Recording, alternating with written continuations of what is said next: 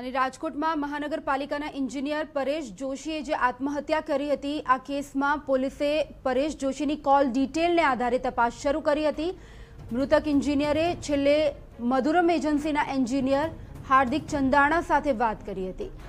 મહાનગરપાલિકાના અન્ય એક કર્મચારી ગૌસ્વામીએ પણ પરેશ જોશીને ફોન કર્યા હતા.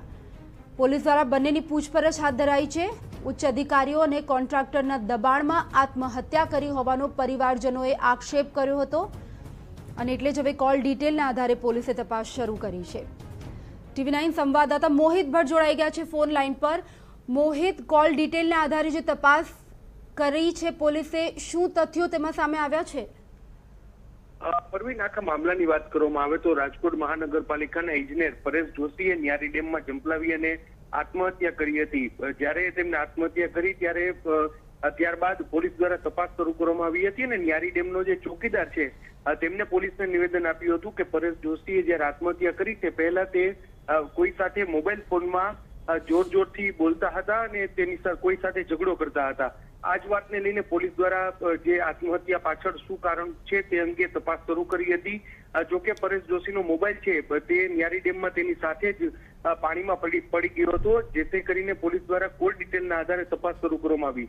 જે આખરી કોલ હતો કે જે ન્યારી ડેમના ચોકીદારે જે પોલીસને નિવેદન આપ્યું હતું, તેમાં જે મધુરમ એજન્સીના એન્જિનિયર છે, હાર્દિક ચંદારાણા સાથેની તેની વાતચીત હતી અને ત્યારબાદ તેની પહેલાનો કોલ હતો તે રાજકોટ મહાનગરપાલિકાના સિટી ઇજનેર વાય ગોસ્વામીનો ફોન હતો.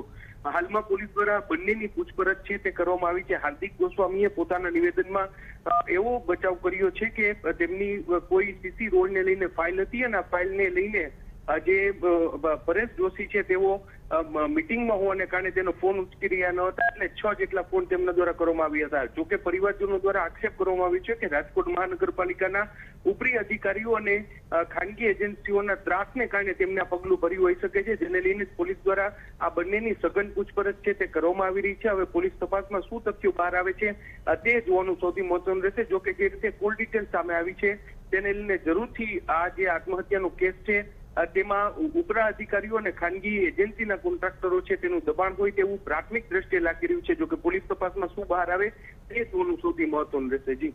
બિલકુલ, તો હવે જોવાનું રહેશે કે કોલ ડિટેલને આધારે શું હકીકત સામે આવે છે. આભાર, મોહિત, તમામ જાણકારી માટે.